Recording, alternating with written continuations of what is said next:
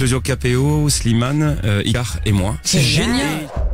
Il est prévu pour 2024, Oui. mais là on sait pas trop si c'est plutôt dans un mois, dans trois mois, dans six mois. Dans... Ah non, mais je peux être un petit peu plus précis quand même. Il est prévu donc pour euh, fin janvier, peut-être début février, parce que comme je suis en retard, peut-être que la fabrication.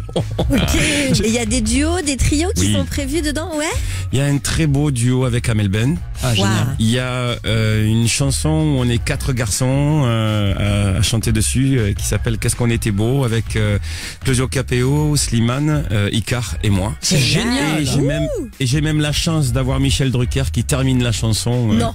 Ah si si. Mais ce sera la deuxième fois après la chanson des restos, et donc il le fera sur ton album, parce qu'il a jamais chanté d'autres sur d'autres d'autres albums, hein, c'est vrai. Alors, c'est pas vraiment chanté, c'est un peu slamé. Ah je l'ai appelé, il s'est prêté au jeu. Enfin, il s'est prêté au jeu et je pense qu'il a, il a, il a pris beaucoup de plaisir. Ah, et en fait, il a, dans ces quelques mots, je peux pas tout vous dire, mais c'est, c'est posé sur un regard sur la nouvelle génération en disant oui, c'est vrai que ce que vous faites, c'est beau.